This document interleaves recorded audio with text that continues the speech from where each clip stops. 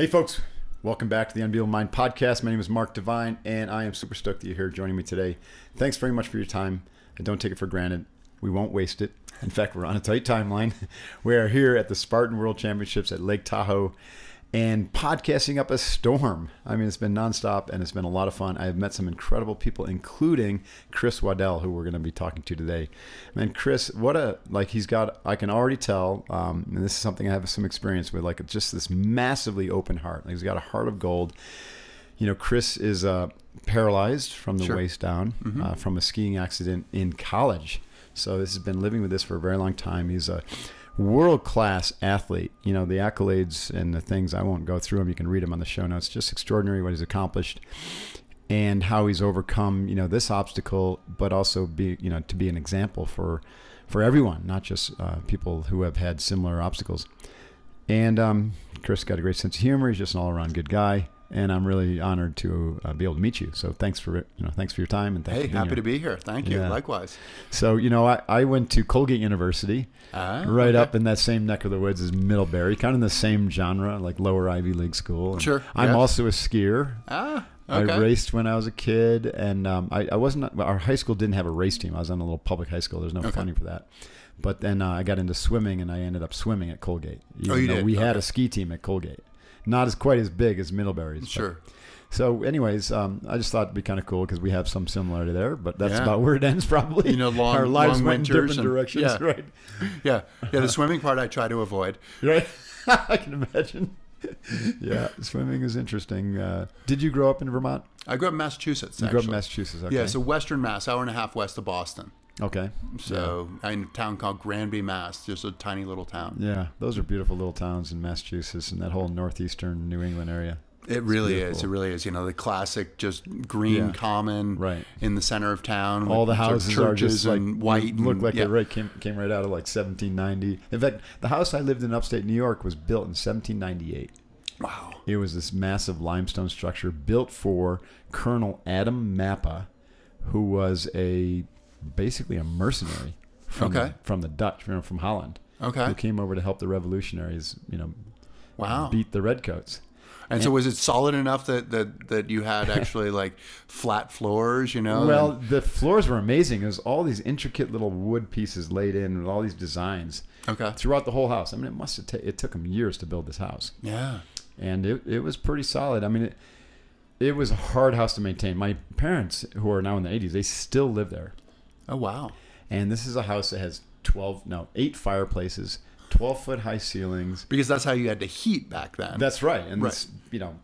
Now it's got central heating, but you know it's just cost a fortune to um, to heat. It's just this massive stone structure on ten acres of land. it's really cool. My point is those those towns are really historical in significance, and they can, really can't. This house is on the National Historic Register. They really can't sell it. They've Right. tried. Oh, Like, okay. who's going to buy this monstrosity that costs more to maintain than you know practically Yeah. it's worth? right? Anyways, so you Somebody went has to fall in love with it. someone has to fall and turn it into a B and B or you know, something like that. Oh, so cool. Middlebury, um, you went and ski. You were a skier in high school. So tell us a skied in little bit high about your school, so yeah. So I skied in high school. I skied skied USSA as well. So I skied with, you know, I skied with the school, but then I skied independently as well. And then and then going to college, I'm in Middlebury Division One skiing, and Mm-hmm. and I had not gone to like a ski academy. I went to Deerfield Academy, so Oh, I I went know to like Deerfield. a traditional Sure. prep school, Right. and and we skied, you know, probably.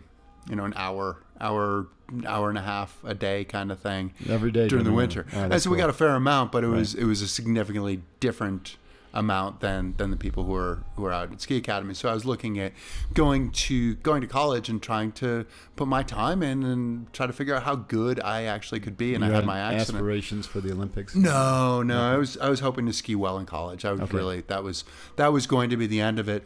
And that's that's what's funny is that that I went in with these trying to figure out how good I could be. I had my accident, and then I had another world that opened up to me where I knew- I wouldn't have I would have skied through college probably, but I wouldn't have I wouldn't have gone Isn't 15 years how afterwards. life changes quickly like that.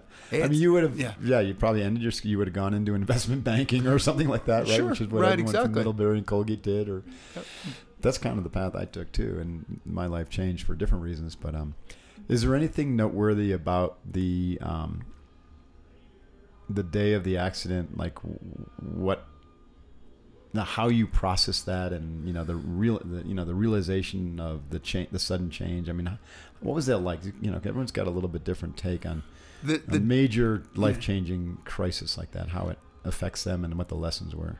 The, the date is it, so it was, it was December 20th of 1988. And in some ways it's it's like a second birthday, right? It's a, Yeah, his yeah. life was one way, and then all of a sudden it's totally different. then it's changed and it's and it's a day i think my birthday i think i understand that actually funny enough now that you're asking today is actually my birthday Oh, happy as birthday. well so thank Oh, you goodness. yes exactly so i don't know how i got into that but but yeah we're That's talking about cool. birthday so it's my birthday but uh but it, it's a date that in some ways is just kind of it, it's it, it's almost a time that you don't completely understand right, Right. that these this thing ha- happens and you think well you know, is was it faded in some way? Was it Right. was it some sort of Im- imbalance within you know within my karma or what? You know, I mean, it's like you think on these kinds Right? of Was this a preordained thing? Like were Level, you meant yeah. to live this life and not that life? yeah, did it happen for a reason? You know, and, and I think that that's when something significant like that happens.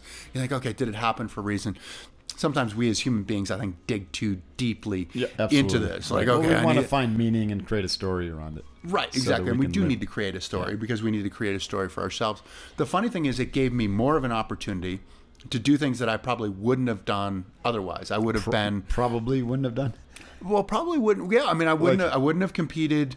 I wouldn't have competed in you know on the highest level of Right. sport. You wouldn't have cycled up. Kilimanjaro. I, I wouldn't have. No, I might have climbed might have climbed Kilimanjaro. I might have, but who knows? I mean, I wouldn't have. I wouldn't have spent my life. I wouldn't have competed for through 36 years old. You know, that that was really I would have started a, a more traditional career. Right. And there there are you know there there are always compromises on, on those things, Mm-hmm. but but I, I was able to follow a passion for a really long time. I wouldn't have made my life as a speaker. Right. I, I wouldn't have I wouldn't have done it. You know, so so it's funny to see these things and, and to you know to to meet presidents, to to be in behind the the velvet ropes with with some of the leaders, to have I saw you, the Dalai Lama bestowed some nice comments on you or something like that. Did you actually you met the Dalai Lama or? I met the Dalai Lama, Oh, so it was it's the unsung hero of compassion award. Wow. And and I have a, a good friend, uh, the good friends, uh, Dick and Ann Grace, who Mm-hmm. who have a vineyard in in Napa, and and they they do a lot of work. They did a lot of philanthropic work in in Tibet, a lot with a lot with women, and Mm-hmm. and we're helping women and young girls out and stuff like that. And they were they were brought their wine to a fundraising event that we did in Park City with the National Ability Center, and I skied with Dick and Ann, Mm-hmm. and and I think this was like second run, and Dick was Dick Dick was an old old Marine, and cool. and it was it was beginning of beginning of March, and it was it was comfortable as far as the weather was con- concerned concerned but he didn't he didn't wear any gloves. He didn't wear a hat. He had his sort of button down shirt with his v-neck sweater. And and that was it. No goggles nothing. And i said aren't you aren't you cold? And he looked at me and said i, do, I don't get cold. You know like cold is a state of mind. And i was like okay okay. And uh, but he said to me he said we, we're going to give you this award because his group because they worked so they did so much work in tibet he worked with his holiness and, and so they every five years they would give out these awards the unsung hero of compassion awards oh, to that's cool. 50 people throughout the world and it was it was people who you know had grown up on like you know in, in dirt floored tents and uh, one woman was was trying to eradicate circum, uh, female circumcision and you know I mean it's like and, and doctors who are who are serving a completely underserved pro, uh, population and Selfless service, right? yeah, and and you know, I'm like, oh, I, I you know, I won a couple of races. You know, Right. you know, you feel like you're not really You had necessarily the imposter syndrome. going There on was big most time, right? assuredly, Yeah. and Dick helped that because I I met. I met I met His Holiness and and you feel drawn into his aura, I just bet, sort of the happiest person and on earth, and you think, I kind of want to stay here. You know, I kind of want to stay like right here. And, warm okay, embrace, right? there's somebody else behind me. I know, but but I kind of like it here. This is great. And and he's just he's fun and happy and engaging and funny and all this stuff. And and so when I received the award, he put the khata around my neck and sort of blessed me, and then I moved on and went to Dick, and Dick said to me, "Well, you realize you're just you're just starting on this journey," and I said, "Oh yeah, oh yeah," acutely aware that I'm just starting on this journey. But they had me come back the ne- the the next time, five years later, and speak to the award winners the night before, Oh, cool. and I shared that feeling of. I'm not worthy of being here. Yeah, I bet you they all felt the same way.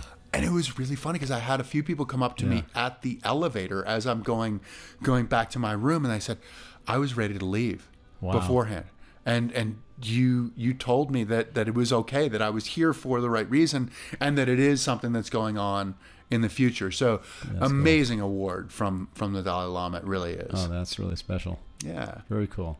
So I want to ask you back, you know, back to that moment, you know, when your life changed. Have you ever thought, you know, and I know this is just silly because it can't change history, but would you, if you could go back and change it, would you change it? I you know Would I you get this. I that, guess Would you finish that run and uh, no. I really the thing is right. We have we have no idea you just don't know, right? where our lives are going. right. So with, with my foundation, our mo- our motto is it's not what happens to you, it's what you do with what happens Yeah. to you. The the life is a life is a fluid thing. It it is. is. it is happening and it's going in a direction and you as the individual think that you are in charge. You're just paddling the river, right? You're just trying not to hit the banks. Or It really avoid is. The rocks and you don't know. And Right. and so I wouldn't want to change the person that I am and the experiences that I've had. Right. For that moment and and and it's funny because like I was in New York last week and sometimes I go to New York and I feel like I feel like it's it's sort of the sliding doors kind of thing where, Yeah. where I'm like I wonder I wonder if that would have been me Right. if if this hadn't happened or where I would have ended up and what I what I would have done but but back to the Dalai Lama he said that you know sometimes not getting what you want can- can be the greatest gift of all Right. sometimes we think we're way smarter than we actually are and this mm-hmm. is what I want and I'm I'm super happy with the direction that I've gone. Mm-hmm. So, in the early, like the recovery phase, what gave you strength? You know, and what was the um, catalyst for you to like shift out of, you know, woe is me, why did this happen? I'm a victim here to like taking charge and realizing, you know what, I got what I got, and I'm going to make something of this. So there were a few things. One, my family's in, incredibly strong. Nice. When the doctor told my parents and my brother what had happened, they cried. And when they were done, my father said, "That's the last time we can cry." Hmm. They had to be strong for for me. They were they were they were supportive, and mm-hmm. and so so that was that was there was never a question. It was never you know it was never well why why did you do this to me? You know it was it was hey we're here to support you. We're here to help you Your fists at God. exactly yeah and and so another thing was i was scared to death of what the possibilities might be that this was not a time for me to stop if i stopped what i saw around me in the hospital might be my life moving forward oh, right. And which was just desperation and people who have given up. It really was, and so I needed to bring to bring my best. I needed to bring the most powerful part of me Mm-hmm. to get out of because you're effectively you're in a hole, right? You're digging yourself Yeah. out of this sort of metaphorical hole before you can too. even really start to move forward. So Right. I realized that hey, life is I, I I don't know what's going on, and I talked a little bit last night about the idea of realizing possible. Mm-hmm. And realizing possible to me is about winning the moment, mm-hmm. and, and and it's not winning, you know, in a competition with somebody mm-hmm. else. It's it's winning that that sense of conviction within myself that that I feel the the conviction waning, that I feel myself drifting, and thinking, I need my strength. I need to be able to win this moment, and the more the more you do that, you create a positive a positive direction. Right. There's there's the athlete part of it too. Mm-hmm. I mean, there's the denial of well, this applies to other people, but they don't know who I am. Mm-hmm. I am going to do this, and realistic or not, you know, you can say, okay, you're you're you're completely wrong in that, and it's like, okay, you you probably are right, but but it also I knew I knew what hard work was Right. and and I knew and I knew what good pain was.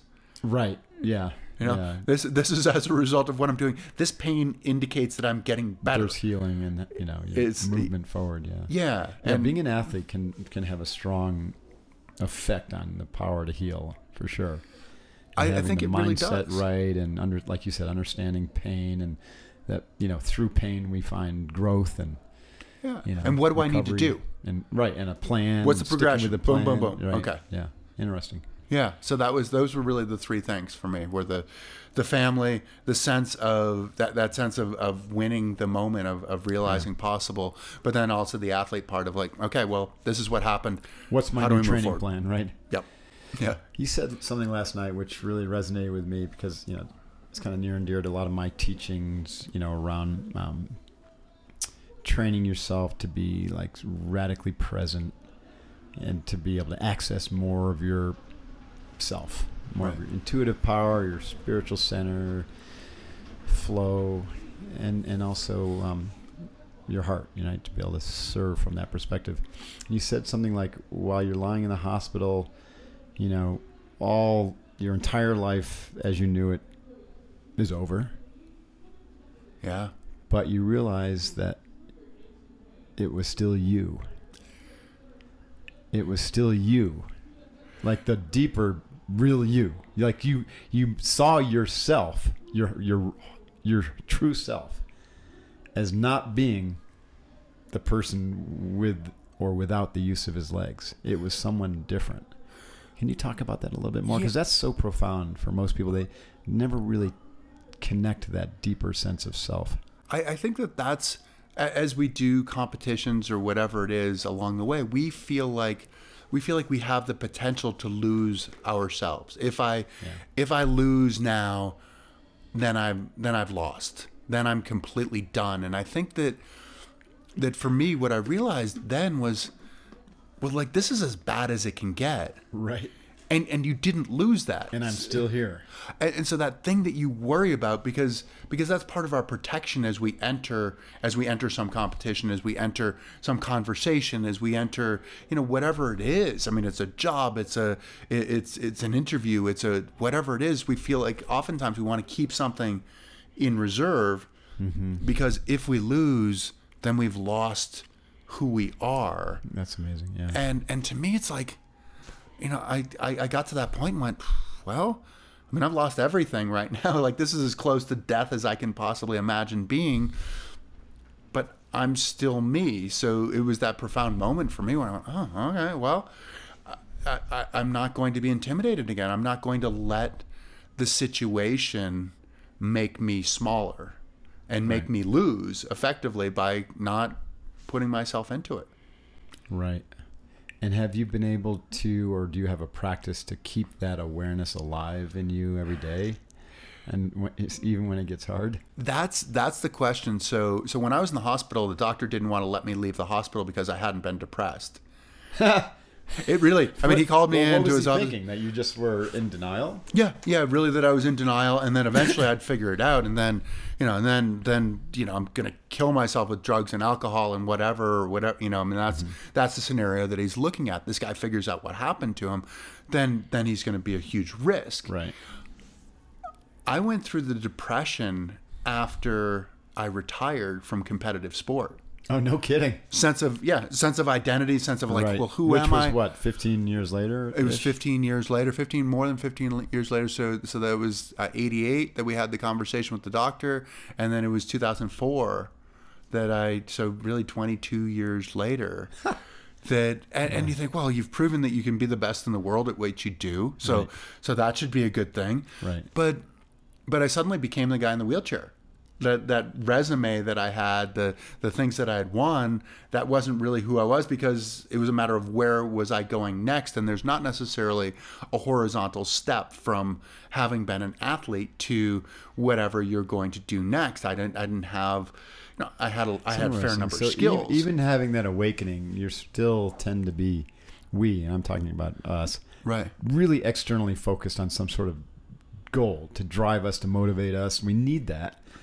And oftentimes we can just forget that that's not us either. We wrap our identity around in that.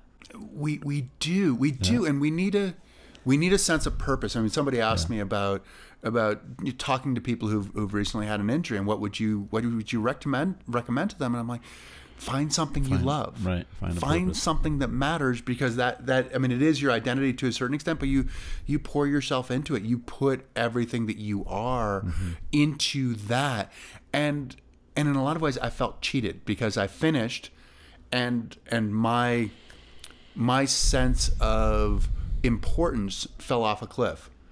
I, I went from being really important within the community and, and all this, and pe- the phone's ringing and people want to talk to me, and and then I fell off a cliff and I, into like complete obscurity. And, and I'd sacrificed, and you know, having been in the military, right? I mean, a big part of your success is related to your sacrifices to get there, right? And and as an athlete, it's a very similar kind of thing that mm-hmm. that the sacrifices that I made were career sacrifices. I left Middlebury. All my friends went to create careers. I'm 36 when I retire. They've reached a point where where they have a career, where they're getting to be really important within within whatever business they're doing. And suddenly, I have left my suspended adolescence as an athlete because I, I was able to stay a child to a certain extent as an athlete, and then figuring out, okay, what do I do? And No uh, you know, what are what are my skills? And I have some skills that other people might not necessarily have. I have some access to people that people might not have. That you know, you meet some of the leaders of some of the different companies and things like that, just because you've been successful as an athlete. But I didn't know where I was going, so I, I sacrificed a career. I sacrificed relationships in a lot of ways. That I was moving around the whole mm-hmm. time, and and and my job was was the most important part of what I was doing and trying to mm-hmm. affect a big change throughout that job. So I didn't want to introduce somebody to my lifestyle. Right. You know, it's not really fair. I can I, I've had girlfriends along the way, but it's it's not fair to introduce somebody to my lifestyle. Why would why would somebody want to do that? So and and the financial part of it, I made some money as an athlete, but I didn't make Certainly nothing. you know, yeah, right. I can't retire Right. on, on on what I made. I, I, I was able to buy a house and those kinds of things, and but but I, making those sacrifices, I thought I've sacrificed so much of what people what people generally consider to be important, Mm-hmm. and and what do I what do I you know what do I have in some ways, and so so mm-hmm. I I actually cut myself off consciously in some ways from my greatest power from this sense of realizing possible this sense of mm-hmm. of being in that moment and win, winning the moment. And and in some ways like depression became became the companion Interesting. you go from doing whatever you're doing during the day and you come home and go into the office and you're like okay okay oh there it is now That's okay. You had to let that. You had to feel that. You had. To, there's probably 22 years yeah of feelings that you needed to let flow. to flow through yeah Cut off Yeah. yourself off from. yep i think Yeah, that's, a big part of it Yeah. and and and, and it's funny because Kilimanjaro was the thing that, that got me reignited. Because you had another purpose. I had another purpose, and and a lot of I, I joined a group I had no desire to join. Right? Nobody nobody asked to become disabled. Right. You know, saying, "Oh, I get parking spaces. This is awesome." You know, I was like, I, the special pass, right? No. "Yeah, no, I don't want wants to." to be part of that group? I can get that. Yeah, like I, that. it, it never, and, and I'm not saying that my life is my, my life is, is fulfilling. The quality of my life is great, but but I mm. didn't want to join that group. But at the same time, I, I essentially became an advocate for that group because we're invisible in a lot of ways. Because from the time we're little, we're taught not to stare at someone who looks different. Right. And- yeah, no, that was poignant. Sorry to interrupt, but what you said last night was really interesting. I mean, one of my best friends is in a wheelchair, and um, he's broke his neck twice. Oh. I mean, he recovered and walked after the first one when he was in 20. He was an athlete, and that helped. And then it happened again when he was like 52 or something. Wow. And he hasn't been able to get up out of the chair since. Right. And um, and I see him every day because he's running our foundation, which we work with veterans who are suffering from post-traumatic stress and are suicidal, and they're also didn't ask to join that club. No, not at all. You know what I mean? They're, Right. They're at an inflection point too. Right. you know, 20, and it's not as visible in some 22 ways, which makes and, it more and they difficult. feel invisible too. Yeah, they feel invisible, but then it's also like you know a wheelchair is visible. Yeah. Where the PTSD, it's like you look like a normal person, right? Right. So it's different. In one case, they don't see themselves and they won't look at themselves. And in your case, most people won't see you because they're taught they don't know how to deal with it. You don't know I how to open the conversation. um, I'll have to tell this one thing because it's really interesting. We, I run a company called SealFit, and so I have SEAL coaches who try to help people wake up and transform and find their, you know, find a deeper part of themselves. And we did an event with a bunch of disabled, um, both veterans and athletes, and um, and we paired them up. It was a 12-hour nonstop kind of Navy SEAL style training event. We paired them up with executives from YPO, okay. and they were swim buddies Uh huh. it was the most profound experience for everybody, even even us as coaches.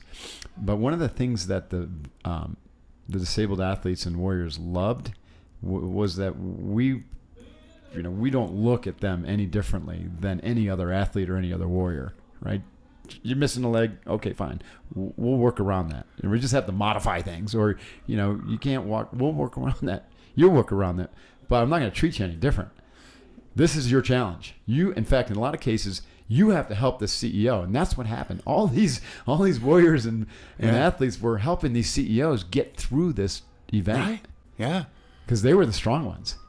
It was, it was just so profound, and we were, we were just like, it was one of the most humbling experiences ever. It's interesting. So I am I am in the midst. I've shot a pilot for a TV show that I want to create and want to host called I Wish I Could.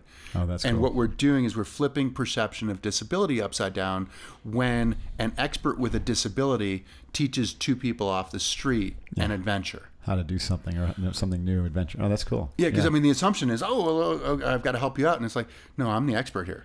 Right. I don't need your help. I'm the, I'm the one teaching you, and you're like, oh, this is a little scary. Like it's like, yeah, you'll be you'll be fine. Here, let me talk you through what what's going on, and and I think that that's that's the part of it that that we as human beings oftentimes, you know, we have we have a bit of a a Superman fetish in some ways of like, okay, well, those are the people like the Superman that like that's that's somebody who can teach me something, but our eyes aren't really open to well, this is somebody who's passionate about about something, and and one you can teach me to be passionate in some ways you know like i can right. i can see the passion and go oh that's something that's really important but two most people know something about something there's always something to learn Absolutely. from somebody else yeah. yeah Absolutely, that's pretty cool. So, um, you retired from sports, and how did you, you know, you mentioned Kilimanjaro, so that was like something to kind of like snap you out of your reverie and get you focused on something. And then, how did that lead to you know your current trajectory as a speaker and helping other people kind of realize what's possible? I think that there's a there's a big part of so one Kilimanjaro. The appealing part about Kilimanjaro is that we're we're all climbing our mountain, right? No Yeah. matter who we are, Metaphorically, the metaphorical powerful, mountain. yeah. We're we're all Sisyphus, right? We're pushing the Yeah. pushing the boulder So you actually, technically speaking, you took a bike up that you hand pedaled. Yeah, so it's a hand cycle bike. It's kind of like it's kind of looks like a Mars rover married to arm pedal power. So four wheels. Did it have big, bulky wheels to get over the rocks and stuff? It like that? had so we actually used uh, wheels that are used for riding bikes on the on the snow. Oh, right. So they're four inches wide, uh, you know, and and we were running two to three pounds of pressure. So the the tire would really literally just envelop Grab it. rocks. It didn't have we didn't have much of a knobby on it at all, Jiminy cricket. and, and just just pedaling and what a grind. How long did that take? It took six and a half days up, and it took a day and a half down, and I was flying at two and a half miles an hour. Like On that's way when down. I. That's when I. No, on the way up. Oh, on the way up. That's when I was maxing. I think that on the way down, I probably, I probably hit twenty to thirty. and a half miles an hour is actually a good clip, considering most people walk about maybe four miles an hour. You know, Yeah. So, so the first, the first two thousand feet I did in under an hour, which is really trekking pace. yeah. you know people do a thousand thousand feet an hour kind of thing and so so that was that that that to me was cool but that was also on effectively like a road so it made it relatively easy it was a Right. dirt road but then then it, as it got more technical and technical for me is stuff that you step over Right. You have And to I'm ride over. you Yeah. I'm like, okay, I've got to figure out how to. Eat. All these things are just. You had a support team, I imagine. We had I had eight people on my team. We did we did a film on it, a documentary film. So the uh, so uh, so we I had two camera two camera people, sound slash everything. I mean the guy who's responsible for the diesel powered generator. I had my director, had my guide. We had a doctor who had ski race with me in college. And we had the guy who's the, the chair of my board. So those were our eight team. And then we had 69 porters each camera person I think had five or six porters carrying gear. We had somebody who just carried my everyday wheelchair. We had the people carrying the food, the Mm. the chefs, you know, everything. Wow. Yeah, so it was it was it was a a moving production. circus. I have to tell you, it's in my, popping in my head right now, but um, I uh, one of my friends is a guy named Kyle Maynard. And Yep. he, he was born with no arms and legs, and he climbed Kilimanjaro. He did. He yeah. literally bear crawled up the whole freaking mountain. Yeah. And I, you know, I can think. I'm trying to think of you trying to take this bike over, and I'm thinking of him bear crawling up the mountain. I'm like, people have no excuses whatsoever. You know what I mean? You got all arms and legs, you got nothing. You know, no excuses. That was one of the funniest things because there are what I think it's twenty five thousand people a year attempt to climb it, Right. And it's about a fifty percent success Is rate, right? Okay. And and it's euphoria when you make it to the top, and so Right. You know as you're going up, somebody's invariably coming down, coming down that same trail, and you'd hear people, "Oh, that was the hardest thing I've ever done," and then they'd see me and go suddenly really quiet. Know? That's awesome.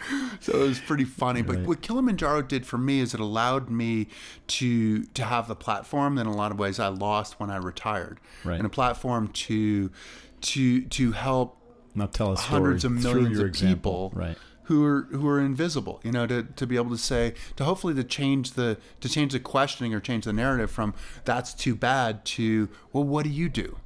Right. and to see the individual as opposed to seeing the disability. And so it, it got me it got me going. It gave me a purpose. It gave me that platform again. And that's that's really what kilimanjaro did and moving moving forward from that. In some ways it's it's a matter of of embracing what i do next and developing my voice and realizing that i'm a storyteller Right. that ultimately is what I do. Right. And that that a lot of what I'm trying to do is get people to look beyond that stereo that that the the wheelchair or to to look beyond, you know, there but for the grace of God go I. And I'm like, no, no. Mm-hmm. I'm I'm you. Mm-hmm. And in a lot of ways, I'm the you that you hope to be. Mm-hmm. You just haven't been in the Yeah. situation Right. where you've had to prove it Right. to yourself and this is this is the human existence i mean i, I do it i approach it in a little bit different way Right. but that's where and, and and you have to find different avenues to be able to say it so with my foundation we do a school program called name tags Okay. looks at the labels that we put on ourselves and others, which are often our limitations. I mm-hmm. can't do this because I'm too mm-hmm. too old, I'm too tired, I'm too fat, I'm too poor, I'm too mm-hmm. busy, whatever it is. I mean, it's so easy to have those excuses. And so it's one part resilience with the motto of it's not what happens to you, it's what you do with what happens to you, but also encourages the kids to to steer out of the mainstream to figure out what matters to them, what Yeah. their passion How are they be. unique and how can they show up? Yeah, because otherwise you finish and you go, "We can do whatever you want to do. And you're like, I don't know what I want to do. I've just been following the crowd. I guess I'll just do mm-hmm. what everybody else does. Mm-hmm. And so doing that, that's where the television show comes in. Uh, I'm, I'm working potentially on another one, hosting another one called Inclusion at Work. Nice. Uh, finishing the, the illustrations. I've learned how to draw Oh, le- cool. relatively uh, for for the uh, children's book for my second children's book on the climb. Right Uh, working on my memoir, uh, doing a lot of speaking, you know, corporate speaking and stuff like that, and trying to trying to trying to essentially create a community. The kids, their minds are open. They're like, all right. I, I get it. Yeah. I'm moving forward. We as adults are a little bit more jaded, mm-hmm. but part of part of the speaking to corporate groups is the opportunity to connect with those corporations mm-hmm. that have a much bigger megaphone and Right. can affect the change. Can affect a change. How do you, you know, you mentioned hundreds of millions of disabled individuals, and largely they feel invisible. And I work with vets Right. who feel invisible, and our biggest challenge is actually finding the vets because they're like, they re- recluse themselves. Yeah. Do you find that with disabled, at least like maybe newly disabled, they're they're just desperate and they recluse themselves? How do we reach them to inspire them? I mean, it's well, uh, I get like I do corporate speaking and training, and it's Sure. great to inspire someone who wants to go from great to greater. Right. Sure. But how do we reach the people who really need the people in, in desperation and Yeah. i think that that's i think that's a that's a part of it and and that's where i think we have to have those venues and and that's where television is great because it's in the comfort of your own home Right. you're sitting on your couch you're not having somebody say hey mark this is what you need to do and you're Right, like well, let me go think about that Right. for a little bit. I'm not going to give you an answer right now, Yeah. but this is where you can kind of process, and and that's that's where I think it could be helpful. And and I realize that that part of part of what I do is is is representing sort of this the you know one percent or whatever it is of people. And that was what that was my biggest biggest takeaway from Kilimanjaro is that there was a part where they had to carry me for about 100 feet of vertical but what that did it was the greatest gift and I didn't realize it in the moment in the moment it was failure Yeah, because you wanted to go unassisted. unassisted I wanted to break the record And that know, was be the, story you wanted to tell, and as if like hundred feet is going to change that story, people's perception of your, you know, accomplishment. Right, but for me, Nobody it does, did. yeah. And and the thing is that that I became this superhero kind of figure. And as an athlete, even even just leaving college, I left I left the hospital and went back to college, and all my friends said I could never do what you've done. And I'm like, this is step number one. Right. This is it. This is just coming back. But then you win some races and and things like that, and you're perpetuating this image, and it's it it's it's that is in a lot of ways the most debilitating thing mm-hmm. that you're not a real human. Mm-hmm. You're a two dimensional figure in a lot of ways. This Superhuman, yeah, different than superhero everyone else. image, and and I think that that's that's the part of of what we you know the story that we need to tell is that no matter who you are, you're you're fallible. And you're going to need help. You're it takes a help, team, yeah. And you're yeah, gonna I'm fail. glad. You know, I'm sure it makes a lot of sense. Going up and giving the impression that you did this whole thing alone leaves the team out. You couldn't possibly have done that alone, even Even not- from the beginning. not including that hundred yards Right. or hundred feet. Yeah. No, yeah. no way. No, couldn't have done It takes it a team to do anything important or valuable in life, doesn't it? Yeah, I was delusional, but that's you know, but that's that's the way it works, you know, and that's the way. We're all delusional at some level. oh yeah, and I probably I'm sure I'm still delusional, but but yeah, that's that's that's the way it works. Is realizing that that team is really the the foundation of of my power and and and empowering other people. Right. Oftentimes, I, I think that's something that we don't learn. That I didn't learn as I as I was growing up. You know, you, you try to little league or whatever. You're trying to win the game, and and it's like, well, how can how can you help prop that other person up? How can you do that because the team is going to be better? Right. I love that. So, if you're listening and you know someone who's disabled, let them know that they have a teammate and a coach Yeah. in Chris Waddell. And and if you're a vet, I'll be your teammate and your coach. Fair enough. Yeah. Right. Yeah. Exactly. And uh, don't try to do it alone. That's for sure. Don't no, to do it no, we can't because our minds are dark places when we get to that point that's too, right. right? It's yeah, it's yeah, hard. You just cannibalize yourself, eat yourself alive. Wow. I wish we had more time, Chris. This has been really neat. I really hope we get to see each other again in the future. Our paths will cross. Definitely. Thanks Yeah. for doing what you do. Likewise. Keep it up. Yeah, you too. And uh, what was we say in the SEALs? Hooyah. Ooh yeah. All Yeah, you get a big hooyah. Where can people find out more about the documentary, about the work you're doing, and whatnot? So a couple of different websites. We have the One Revolution website is one hyphen revolution.org. So that's my nonprofit. Got it. You can check it out if, if you want to book a school presentation for your kids. Oh, cool. Come to that. The uh, my my for profit because it's I have the nonprofit world and the for profit world. For profit is is my speaking, writing, and television. That is Chris Waddell speaking. So it's C H R I S W A D D E L L speaking dot com. Dot com, okay. That has that, that has I'm, I'm I will get back to it of, of publishing my memoir serially, Sweet. a chapter a week kind Oh, of thing. cool. Yeah, On- and you can buy my books there and idea. stuff like Yeah, that. right. It's fun. It's it's a little daunting. Yeah. Or every other week actually. You gotta you gotta discipline yourself to do that writing. Yeah, it, it It's Writing's work, a hard one. That blank Yeah, page is I'm daunting. getting ready to uh, restart my blog, and my intention is to do a daily post, Yep. Three to five hundred words. Yeah, and that's gonna that's a- take some. that's a discipline. lot. Yeah, That's a. I had somebody who, who at one point who was a writer who said that she gives herself a half an hour. yeah. to Whatever do a she blog. gets done. Yeah, This is it. done. Do it because you can you can take all day Yeah. to do that. And 300 to 500 words is a lot of. Yeah, it might end up being a little less sometimes, but so I'm giving myself some. Well, people want to Gumby flexibility. There you go. this is one of my mottos. so. exactly. And and the other place they can find me is is on Instagram is Chris Waddell or Chris underscore Waddell underscore living underscore it. So Okay. Chris Waddell living it with underscores in between We'll everything. put those on in the show notes. Yeah, Cool. that'd be awesome. Definitely. Awesome. Yeah, and we'll give you a shout out. We'll let you know when this thing is going to go live, and and um, yeah, hoo yeah. Good luck with everything. Oh, yeah, Yeah, definitely. I yeah. really appreciate what you're doing. Likewise. All right, folks. Thanks for listening. This has been the Unbeatable Mind podcast. Go check out Chris Waddell's work, and um, let's help him help others who are in those moments of desperation, or you know, just could really use a little motivation to get on their path to healing and finding their greatness in spite of their disability. Yeah. Yeah? In spite of their situation. In spite That's of what the we're all in. situation, right? I don't even like the word disability, right? No. it's kind of a negative No, we're all in a situation We're we, all in have, a we have to get out of, right? We got our shit. We'll call them a situation. exactly. all right, everybody. See you next time. Divine out. Hoo-yah. Hey, this is Mark Divine. Thanks very much for watching the Unbeatable Mind podcast on YouTube. You can also find the podcast at iTunes, Stitcher, SoundCloud, Google Play, and unbeatablemind.com slash podcasts. Be sure to check out the new episode released every week. Hoo-yah.